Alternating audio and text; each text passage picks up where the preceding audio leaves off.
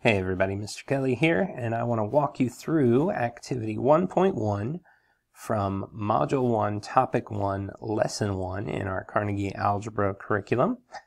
So in this assignment, what we're going to do is we're going to be looking at several what are called scenarios. Uh, and so I will just read problem 1 for you here. It says, read each scenario, determine the independent and dependent quantities, then match each scenario to its corresponding graph. Glue the graph next to the scenario. For each graph, label the x and y axis with the appropriate quantity and a reasonable scale, and then interpret the meaning of the origin. So as you can see, there's quite a lot going on there. So when we talk about a scenario, here's what we mean. These headings right here, so this one here where it says Daredevil, that's one of the scenarios. And then the next scenario is called something's fishy.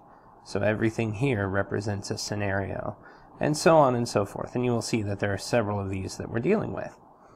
So let's look at the first one together and we'll walk through what all these instructions mean for us. So read it first, always. When there are words, read them no matter what. So our first scenario says Daredevil.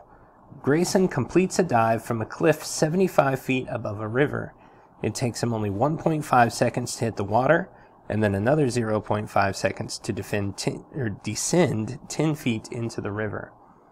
So what's happening here is this guy is literally jumping off a cliff into a river, and we know how long it takes him to fall and hit the water, and then we also know that he goes under the water afterwards. So in our instructions, we're told to determine the independent and dependent quantities first. So you'll see there's a spot there for you to write uh, the independent and dependent quantities. And so what we'll do is we'll just take a look at that. And so uh, if we're looking at our independent and dependent quantities, we want to ask what are the two things we're measuring with numbers. And if we look at this, we can see we're measuring how high above the river he is and how long it takes him to hit the water. So what we have to do is determine which one is dependent on the other. So in this case, his height above the river depends on how long he's been falling. So we would say that the height is the dependent quantity. Now let me ready my pen here. And so our dependent quantity would be the height. And the independent quantity would be the time. And we know from talking about this that very, very often if you see time, it will be the independent quantity, not always, but very, very often. So another thing that's kind of important to think about is we have the time and how are we measuring it? Well, we're measuring it in seconds and we have the height and we're measuring that in feet. You don't have to include this on here, but I always want you thinking about that. All right, so now we've identified our independent quantity and our dependent quantity. The next thing is to match the scenario to its corresponding graph. And so here's what we mean by this. I'm going to erase this so that it doesn't follow us. But if you look at the back of the lesson, and what I have here is exactly what you'll see in your book. But if you look at the back of the lesson, all the way at the end after talk the talk, you'll see this thing called graph cutouts. And one of these graphs matches that description from our daredevil scenario. And we have to figure out which graph matches with that scenario. And so in this case, it's graph E. We can, if you think about this a little bit, uh, the y-axis would be his height off the ground. That's our dependent variable. The x-axis would be time. And so we'd see that as time goes on, his height above the river gets closer and closer to zero. And then after a certain time, he's actually underneath the water, and so his height would go negative. So graph E is going to be our daredevil scenario. And you can just write it on there. Uh, you can write it more neatly than I can because I'm trying to write on a computer, and that is turns out very difficult, so I apologize if that's hard to read. Um, but while you are here, we have to follow all those other instructions. So we need to label both axes So this would be height,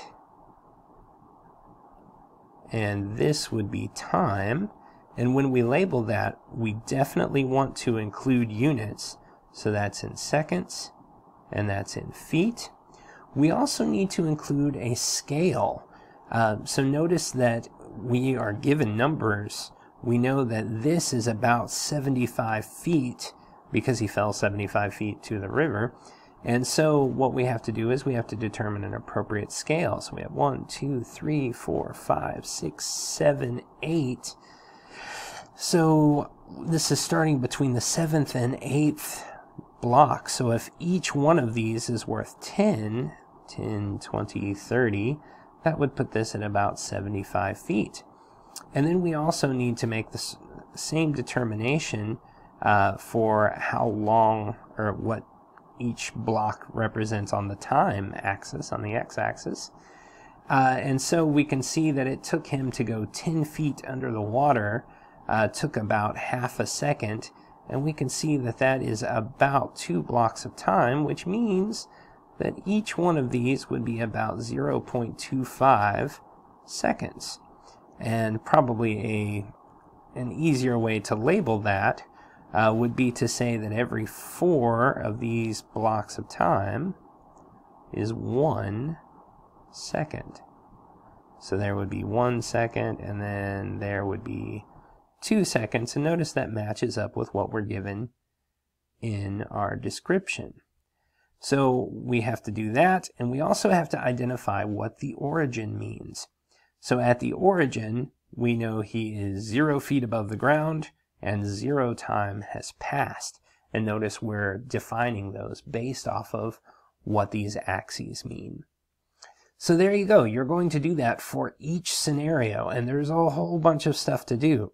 Don't leave any of it out. It's all very, very important. This will be stuff that comes back to us over and over again over the course of the year. Uh, and so this is very, very important that we get a good foundation in this now. Uh, not to mention just looking ahead academically, a significant portion of the ACT is simply reading graphs like this. Uh, so this is a skill that can be very helpful going forward. All right, I hope this was helpful and let your teacher know anything that is still confusing. They can help you out more.